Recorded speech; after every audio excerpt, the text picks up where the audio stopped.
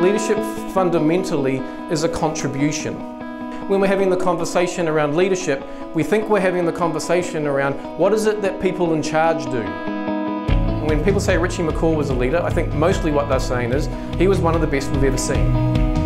My key takeaway from tonight's event was that it's really easy to shift back to more of a management role and I'm really going to challenge myself to shift into that leadership and influential space in my organization. I'm going to apply some behaviors that I've identified that I need to work on and I'm going to go into my organization tomorrow and test those out. My key takeaway was turning leadership into disrupting the changes today to make it better for the future.